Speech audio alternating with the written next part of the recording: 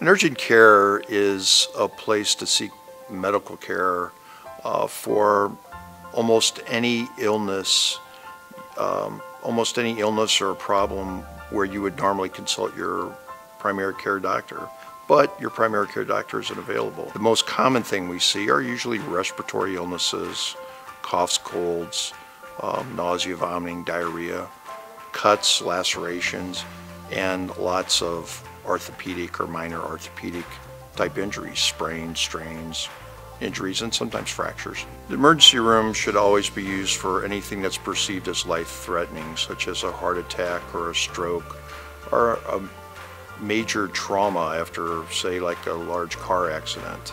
The urgent care can provide quality care faster and we're more convenient.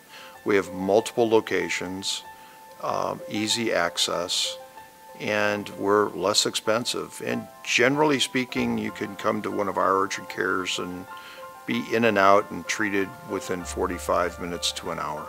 We have a large system of supporting physicians and access to those physicians. Just the other day, um, a little girl, two-year-old, came into the urgent care with an injury. She had fallen and twisted her leg and she was in quite a bit of pain. She was very distressed and our nurses were right there with the child comforting her. We were able to alleviate her pain, diagnose her condition, which happened to be a severe fracture of her lower leg.